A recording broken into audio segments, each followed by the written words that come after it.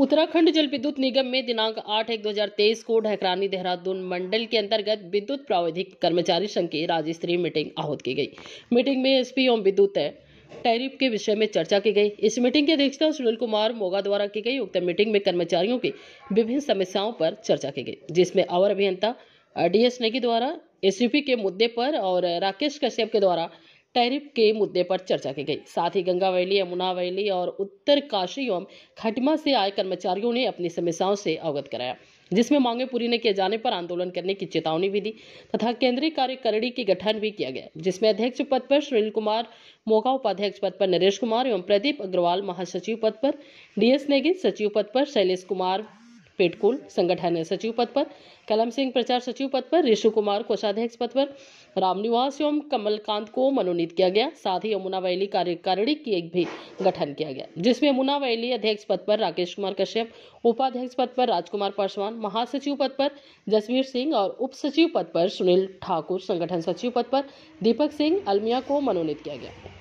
Meeting में सुनील कुमार मोगा, एवं राकेश कश्यप, दीपक अलमिया, सुभाष चंद्र विशाल चौधरी, शहजाद अहमद, होशियार सिंह ओमकार, सुशील कुमार असगर खान, प्रदीप सैनी, रविंद्र हरीश, अमरीश पाल ब्रिजमोहन तिवारी, भगवान लाल नीरज कुमार फुलेरा आदि संघ ने संघ से जुड़े कर्मचारी मौजूद रहे ये तो देखो, आज सभी को पता है कि इतनी तादाद में लोग इकट्ठे हुए हैं। तमाम समस्याएँ एक बड़ी उपलब्धि के साथ उसमें भ्रांतियाँ पैदा हुई हैं। जैसे अभी संयुक्त मोर्चा एक बड़ी लंबी लड़ाई है वो ड्यूटी का हो। अगर एक आदमी ड्यूटी कर रहा तो दस चार आदमी को अपने साथियों को छोड़ सकता है कि नहीं आप दरी पे जाके बैठो। हमारी समस्या नाम बंद होंगे। तो ऐसी कोई जल विद्युत निगम में लक्ष्मण रेखा नहीं खींची गई है कि हम अगर उस तरफ़ जाएँगे तो साला हमारा शरीर सुहा हो जाएगा, कि हम खत्म हो जाएँगे। अगर ऐसी भी नौबत आई है तो आने दो। लेकिन अपने मांग को एक बार पटल पे ज़रूर ले आओ, एक बार उसको उठाओ, एक बार उस पर संघर्ष करो। देखो तो कि भाई लड़ाई लड़के हो सकता है, उससे और अधिक हो जाए। ज़्यादा बढ़िया निकल के आ जाए। तो हमारी शुभकामनाएँ आप सभी के साथ हैं, और सभी अपने ही लोग हैं, कोई बाहर से नहीं है। तो ये लड़ाई बड़ी अच्छी है। और हम तन मन धन से आप सबके साथ। करवाया गया। ये इसकी उपलब्धि है।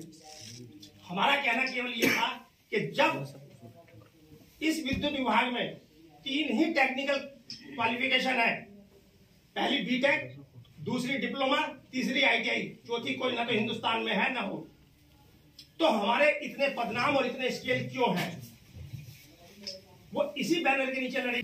ये कुछ हमारे जो टी टू साथी हैं जी। इनकी कुछ समस्याएँ चल रही थी और ये सभी संगठनों से अपना अनुरोध कर रहे थे कि इनकी एसीपी की कुछ समस्या है कि जिसमें ये पहली एसीपी जूनियर इंजीनियर की लेना चाहते हैं दूसरी सहायक अभियंता की और तीसरी अधिशासी अभियंता की। जी। तो उसी तारतम्य में इन्होंने हमें भी आज इनवाइट किया था कि सर आप भी ये बताओ कि क्या इसके लिए हम रणनीति तैयार करें क्योंकि ये सभी संगठनों से अपनी अपील कर चुके हैं हम्म। और उसी तारतम्य में आज इन्होंने हमें भी बुलाया था तो हमने इनसे बात की है कि ये अन्य संगठनों में भी ऐसा ही है क्योंकि जूनियर इंजीनियर को भी पहली एसीपी जो है सहायक अभियंता की मिलती है दूसरी अधिशासी अभियंता की और तीसरी अधीक्षण अभियंता की उसी क्रम में सहायक अभियंता जो भर्ती होता है उसको भी पहली एसीपी अधिशासी अभियंता की, दूसरी अधीक्षण अभियंता की और तीसरी मुख्य अभियंता की मिलती है।